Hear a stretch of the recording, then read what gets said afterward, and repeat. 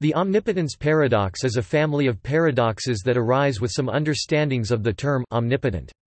The paradox arises, for example, if one assumes that an omnipotent being has no limits and is capable of realizing any outcome, even logically contradictory ideas such as creating square circles. A no-limits understanding of omnipotence such as this has been rejected by theologians from Thomas Aquinas to contemporary philosophers of religion, such as Alvin Plantinga.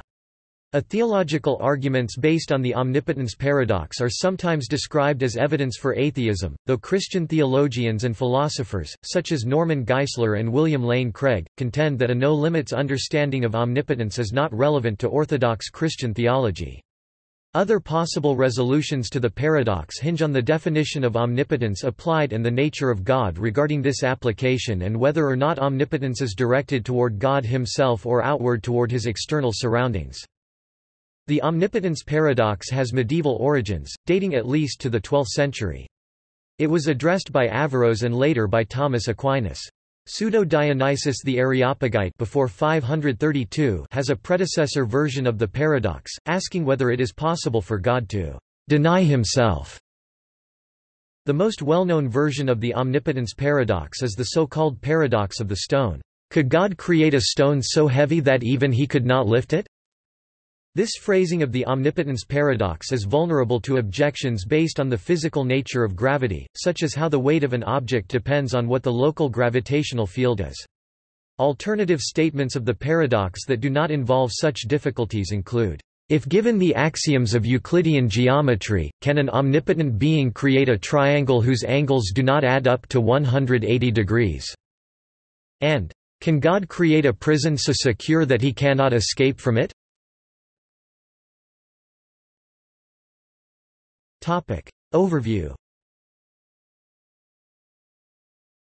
A common modern version of the omnipotence paradox is expressed in the question, Can an omnipotent being create a stone so heavy that it cannot lift it? This question generates a dilemma. The being can either create a stone it cannot lift, or it cannot create a stone it cannot lift. If the being can create a stone that it cannot lift, then it seems that it can cease to be omnipotent.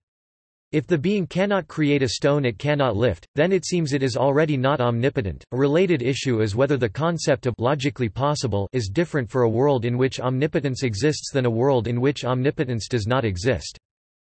The dilemma of omnipotence is similar to another classic paradox. The irresistible force paradox. What would happen if an irresistible force were to meet an immovable object? One response to this paradox is to disallow its formulation, by saying that if a force is irresistible, then by definition there is no immovable object, or conversely, if an immovable object exists, then by definition no force can be irresistible. Some claim that the only way out of this paradox is if the irresistible force and immovable object never meet. But this is not a way out, because an object cannot in principle be immovable if a force exists that can in principle move it, regardless of whether the force and the object actually meet. Types of omnipotence Peter Geach describes and rejects four levels of omnipotence. He also defines and defends a lesser notion of the almightiness of God. Y is absolutely omnipotent, means that Y can do anything that can be expressed in a string of words even if it is self-contradictory. Y is not bound by the laws of logic.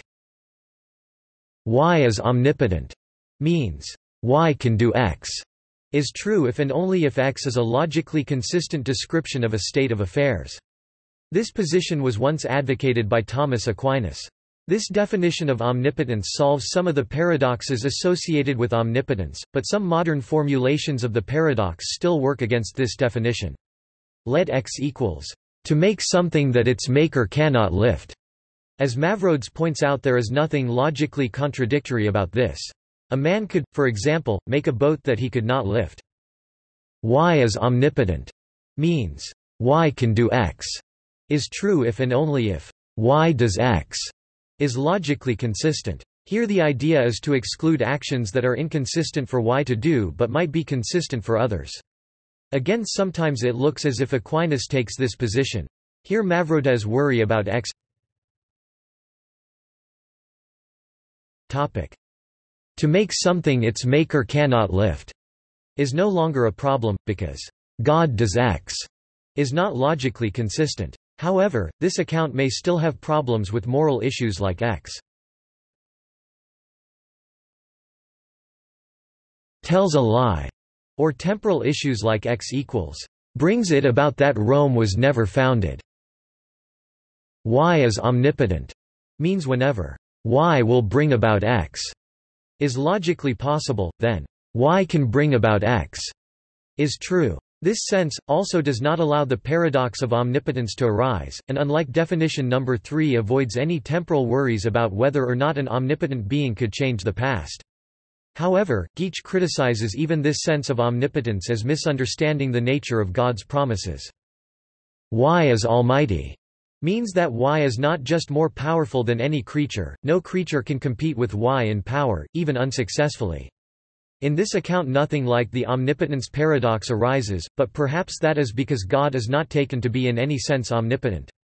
On the other hand, Anselm of Canterbury seems to think that almightiness is one of the things that make God count as omnipotent. Augustine of Hippo in his City of God writes, God is called omnipotent on account of his doing what he wills, and thus proposes the definition that Y is omnipotent means, if Y wishes to do X then Y can and does do X. The notion of omnipotence can also be applied to an entity in different ways. An essentially omnipotent being is an entity that is necessarily omnipotent. In contrast, an accidentally omnipotent being is an entity that can be omnipotent for a temporary period of time, and then becomes non-omnipotent.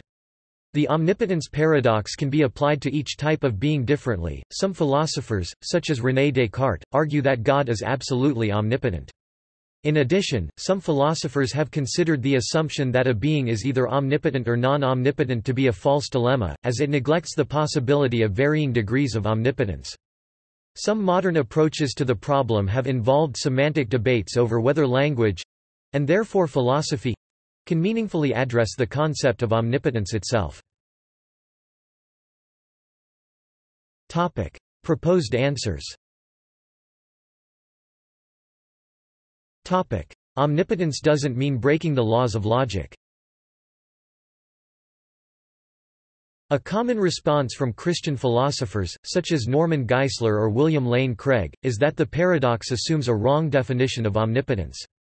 Omnipotence, they say, does not mean that God can do anything at all but, rather, that he can do anything that's possible according to his nature.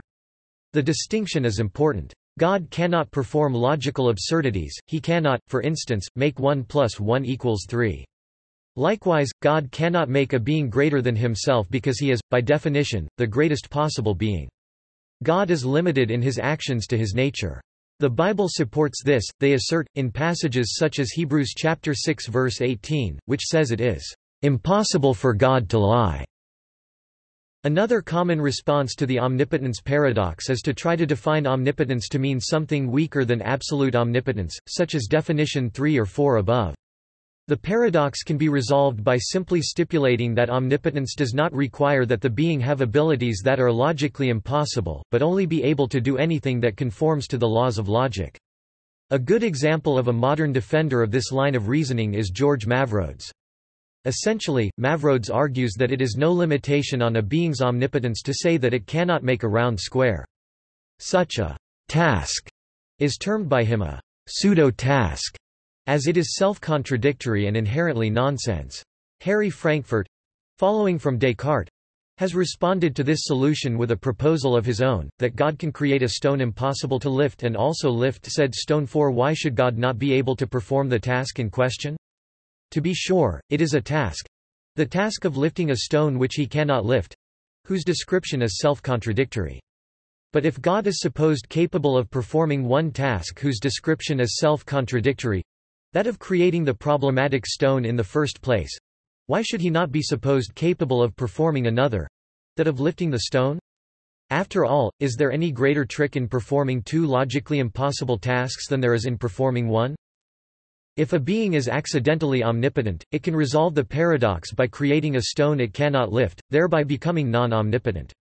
Unlike essentially omnipotent entities, it is possible for an accidentally omnipotent being to be non-omnipotent. This raises the question, however, of whether or not the being was ever truly omnipotent, or just capable of great power. On the other hand, the ability to voluntarily give up great power is often thought of as central to the notion of the Christian incarnation. If a being is essentially omnipotent, then it can also resolve the paradox as long as we take omnipotence not to require absolute omnipotence. The omnipotent being is essentially omnipotent, and therefore it is impossible for it to be non-omnipotent. Further, the omnipotent being can do what is logically impossible—just like the accidentally omnipotent, and have no limitations except the inability to become non-omnipotent. The omnipotent being cannot create a stone it cannot lift. The omnipotent being cannot create such a stone because its power is equal to itself, thus, removing the omnipotence, for there can only be one omnipotent being, but it nevertheless retains its omnipotence. This solution works even with definition 2, as long as we also know the being is essentially omnipotent rather than accidentally so. However, it is possible for non-omnipotent beings to compromise their own powers, which presents the paradox that non-omnipotent beings can do something to themselves which an essentially omnipotent being cannot do to itself. This was essentially the position Augustine of Hippo took in his The City of God, for he is called omnipotent on account of his doing what he wills, not on account of his suffering what he wills not, for if that should befall him, he would by no means be omnipotent. Wherefore, he cannot do some things for the very reason that he is omnipotent. Thus Augustine argued that God could not do anything or create any situation that would, in effect, make God not God. In a 1955 article in the philosophy journal Mind, J. L. Mackie tried to resolve the paradox by distinguishing between first-order omnipotence unlimited power to act and second-order omnipotence unlimited power to determine what powers to act things shall have. An omnipotent being with both first and second order omnipotence at a particular time might restrict its own power to act and, henceforth, cease to be omnipotent in either sense. There has been considerable philosophical dispute since Mackie, as to the best way to formulate the paradox of omnipotence in formal logic. God and logical Though the most common translation of the noun, logos, is word, other translations have been used. Gordon Clark (1902–1985), a Calvinist theologian and expert on pre-Socratic philosophy, famously translated logos as logic. In the beginning was the logic, and the logic was with God and the logic was God. He meant to imply by this translation that the laws of logic were derived from God and formed part of creation, and were therefore not a secular principle imposed on the Christian world view. God obeys the laws of logic because God is eternally logical in the same way that God does not perform evil actions because God is eternally good. So, God, by nature logical and unable to violate the laws of logic, cannot make a boulder so heavy he cannot lift it because that would violate the law of non-contradiction by creating an immovable object and an unstoppable force. This raises the question, similar to the Euthyphro dilemma, of where this law of logic, which God is bound to obey, comes from. According to these theologians Norman Geisler and William Lane Craig, this law is not a law above God that he assents to but, rather, logic is an eternal part of God's nature, like his omniscience or omnibenevolence. Paradox is meaningless, the question is sophistry, meaning it makes grammatical sense, but has no intelligible meaning. Another common response is that since God is supposedly omnipotent, the phrase, could not lift does not make sense and the paradox is meaningless. This may mean that the complexity involved in rightly understanding omnipotence contra all the logical details involved in misunderstanding it is a function of the fact that omnipotence, like infinity, is perceived at all by contrasting reference to those complex and variable things, which it is not. An alternative meaning, however, is that a non-corporeal God cannot lift anything, but can raise it a linguistic pedantry, or to use the beliefs of Hindus that there is one God, who can be manifest as several different beings that whilst it is possible for God to do all things, it is not possible for all his incarnations to do them. As such, God could create a stone so heavy that, in one incarnation, he couldn't lift it, yet could do something that an incarnation that could lift the stone could not. The lifting a rock paradox can God lift a stone larger than he can carry, uses human characteristics to cover up the main skeletal structure of the question. With these assumptions made, two arguments can stem from it. Lifting covers up the definition of translation, which means moving something from one point in space to another. With this in mind, the real question would be, Can God move a rock from one location in space to another that is larger than possible? For the rock to be unable to move from one space to another, it would have to be larger than space itself. However, it is impossible for a rock to be larger than space, as space always adjusts itself to cover the space of the rock. If the supposed rock was out of space-time dimension, then the question would not make sense, because it would be impossible to move an object from one location in space to another if there is no space to begin with, meaning the faulting is with the logic of the question and not God's capabilities. The words, lift a stone, are used instead to substitute capability. With this in mind, essentially the question is asking if God is incapable, so the real question would be, is God capable of being incapable? If God is capable of being incapable, it means that he is incapable, because he has the potential to not be able to do something. Conversely, if God is incapable of being incapable, then the two inabilities cancel each other out, making God have the capability to do something. The act of killing oneself is not applicable to an omnipotent being, since, despite that such an act does involve some power, it also involves a lack of power. The human person who can kill himself is already not indestructible, and, in fact, every agent constituting his environment is more powerful in some ways than himself. In other words, all non-omnipotent agents are concretely synthetic, constructed as contingencies of other, smaller, agents, meaning that they, unlike an omnipotent agent, logically can exist not only in multiple instantiation by being constructed out of the more basic agents they are made of, but are each bound to a different location in space contra transcendent omnipresence. Thomas Aquinas asserts that the paradox arises from a misunderstanding of omnipotence. He maintains that inherent contradictions and logical impossibilities do not fall under the omnipotence of God. J. L. Cowan sees this paradox as a reason to reject the concept of absolute omnipotence, while others, such as René Descartes, argue that God is absolutely omnipotent, despite the problem. C. S. Lewis argues that when talking about omnipotence, referencing a rock so heavy that God cannot lift it is nonsense just as much as referencing a square circle that it is not logically coherent in terms of power to think that omnipotence includes the power to do the logically impossible.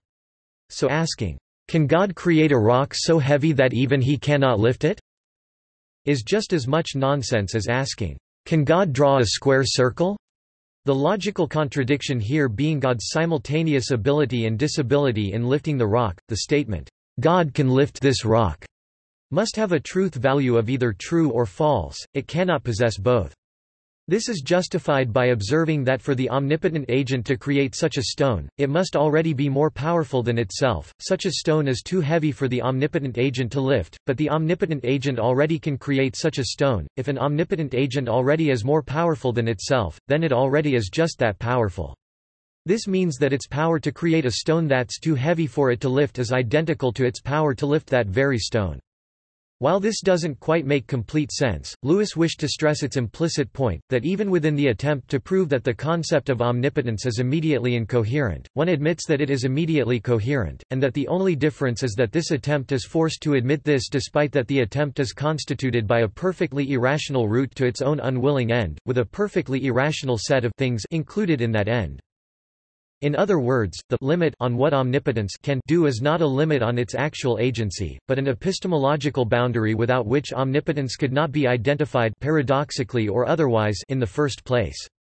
In fact, this process is merely a fancier form of the classic liar paradox. If I say, I am a liar, then how can it be true if I am telling the truth therewith, and, if I am telling the truth therewith, then how can I be a liar? So, to think that omnipotence is an epistemological paradox is like failing to recognize that, when taking the statement, I am a liar self-referentially, the statement is reduced to an actual failure to lie. In other words, if one maintains the supposedly initial position that the necessary conception of omnipotence includes the power to compromise both itself and all other identity, and if one concludes from this position that omnipotence is epistemologically incoherent, then one implicitly is asserting that one's own initial position is incoherent. Therefore, the question and therefore the perceived paradox is meaningless. Nonsense does not suddenly acquire sense and meaning with the addition of the two words, God can before it. Lewis additionally said that, "...unless something is self-evident, nothing can be proved." This implies for the debate on omnipotence that, as in matter, so in the human understanding of truth, it takes no true insight to destroy a perfectly integrated structure, and the effort to destroy has greater effect than an equal effort to build. So, a man is thought a fool who assumes its integrity, and thought an abomination who argues for it. It is easier to teach a fish to swim in outer space than to convince a room full of ignorant fools why it cannot be done. Language and omnipotence The philosopher Ludwig Wittgenstein is frequently interpreted as arguing that language is not up to the task of describing the kind of power an omnipotent being would have. In his Tractatus Logico-Philosophicus, he stays generally within the realm of logical positivism until claim 6.4. But at 6.41 and following, he argues that ethics and several other issues are transcendental subjects that we cannot examine with language. Wittgenstein also mentions the will, life after death, and God, arguing that, "...when the answer cannot be put into words, neither can the question be put into words."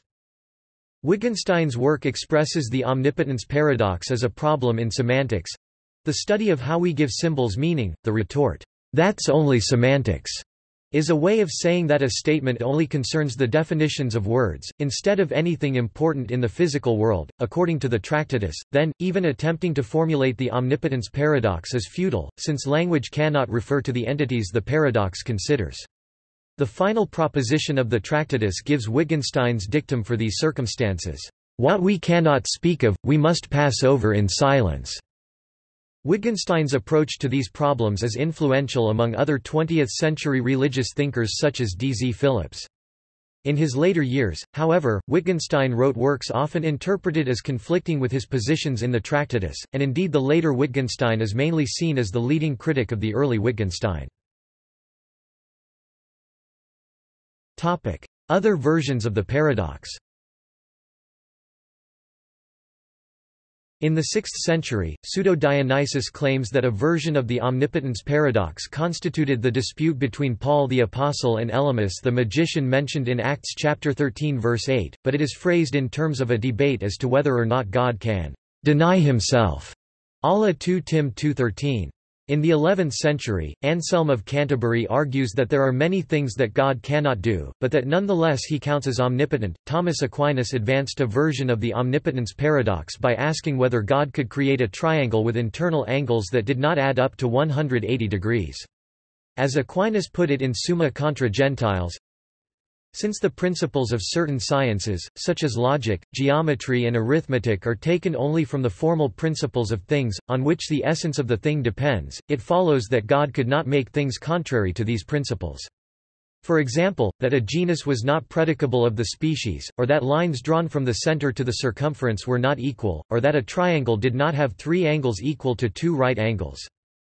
This can be done on a sphere, and not on a flat surface. The later invention of non-Euclidean geometry does not resolve this question, for one might as well ask, if given the axioms of Riemannian geometry, can an omnipotent being create a triangle whose angles do not add up to more than 180 degrees? In either case, the real question is whether or not an omnipotent being would have the ability to evade consequences that follow logically from a system of axioms that the being created. A version of the paradox can also be seen in non-theological contexts.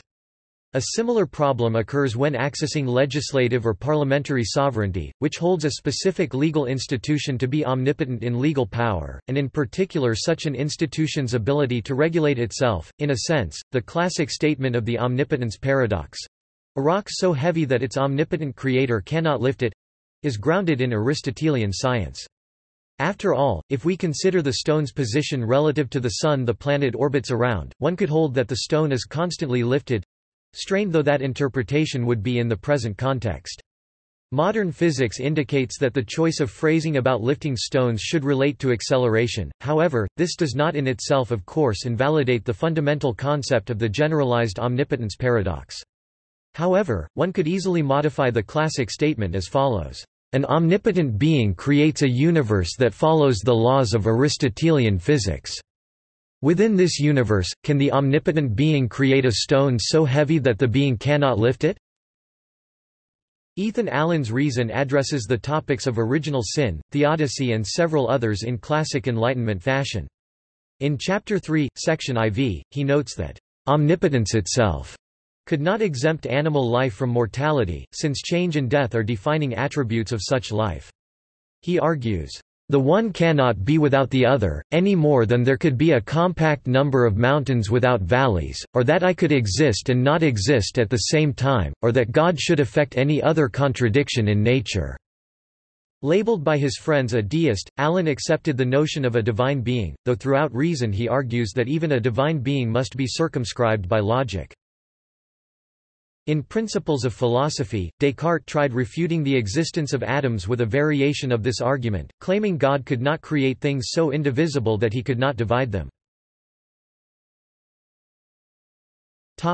See also. Gödel's incompleteness theorems. Problem of evil. List of paradoxes. Notes References Allen, Ethan. Reason, The Only Oracle of Man. J. P. Mendum, Cornell, 1854. Originally published 1784. Accessed on 19 April 2006 Augustine. City of God and Christian Doctrine. The Christian Literature Publishing Co., 1890. Accessed on 26 September 2006 Burke, James. The Day the Universe Changed. Little, Brown, 1995 paperback edition. ISBN 0-316-11704-8. Gleick, James. Genius.